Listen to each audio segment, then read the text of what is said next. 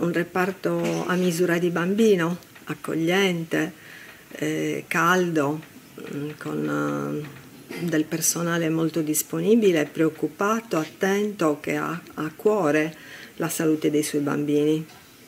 Come obiettivo ho, ho avuto quello di visitare le, i reparti di pediatria della regione e finora quelli che ho visitato hanno più o meno le stesse criticità che non sono di quella struttura singola, ma proprio del sistema.